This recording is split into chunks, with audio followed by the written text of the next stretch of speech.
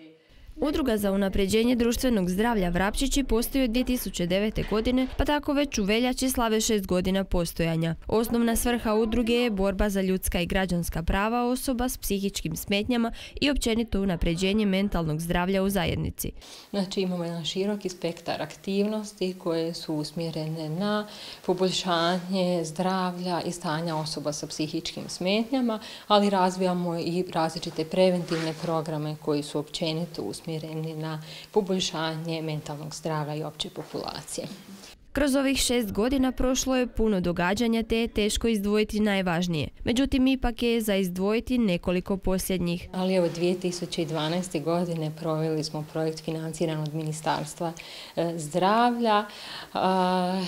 Zatim ove godine smo započeli provođenje trogodišnjeg programa Klub Vrapčići koji je financiran od Ministarstva socijalne politike i mladih cijelo vrijeme zapravo do snutka nekako njegujemo kazališnu djelatnost, tako da smo imali jednu predstavu e, pjesnici prijatelji s kojom smo gostovali ovdje po školama u Slavonskom brodu i u Popovači.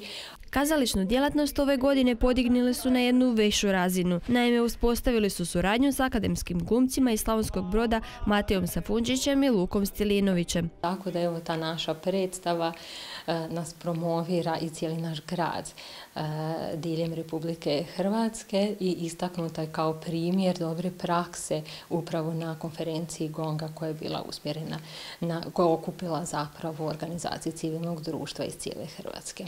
Projekt koji će se provoditi u partnerstvu s volonterskim centrom Slavonski brod traje ukupno 12 mjeseci, a omogućit će tematske edukacije namijenjene vodstvu udruga, opremanje udruge za proširenje djelovanja i osiguravanje ponude socijalnih usluga koje udruga do sada već nudi. Krećemo korak dalje prema sredstvima iz Europe, iz Europskog socijalnog fonda tako da upravo danas započima projekt e, Volonteri Snaga Vrapčića koji ćemo izvoditi u partnerstvu sa volonterskim centrom Slavonski brod.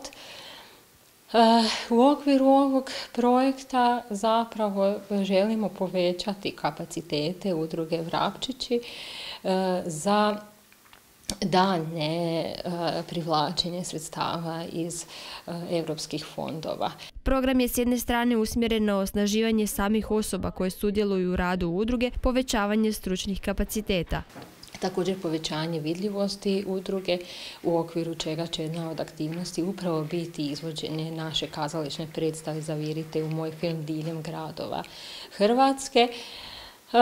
I želimo urediti ovaj prostor, obzirom da je u njega smo se uselili u listopadu 2014. i napunili ga zapravo priručnim nekakvim namještajem koje smo prikupili iz donacija, ali želimo da zapravo naše mjesto bude uh, jedno privlačno mjesto, pravi dnevni boravak za ljude koji nam dođu na obavljanje različitih aktivnosti.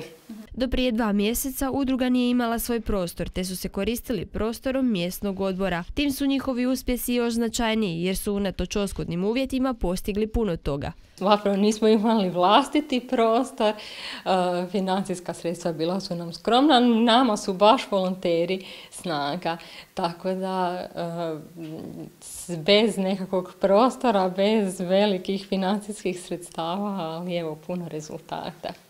Uz navedene aktivnosti koje će se provoditi u sklopu financiranog projekta, udruga započinje i sa jednim pilot projektom pod nazivom Moj Vrapčić. Koji će biti usmjeren na pomoć na osobama koje imaju najteži zapravo oblik psihičkih smetnji i imaju potrebu za pomoći u svakodnevnom životu i različitim životnim e, funkcijama, tako da ćemo obučavati volontere da im pomognu od obavljanja nekakvih, znači odvođenja do liječnika, uh, u trgovinu, do same udruge, sve ono što ovaj, u čemu zapravo budemo vidjeli da postoji potreba. Trenutno je to tek pilot projekt koji će se kasnije analizirati gdje su nedostaci kako bi se s vremenom mogao razviti u pravi program. Udruga broji oko 120 članova te unatoč znatnom financiranju iz europskih fondova i raznim donacijama ipak najviše ovise o volonterima.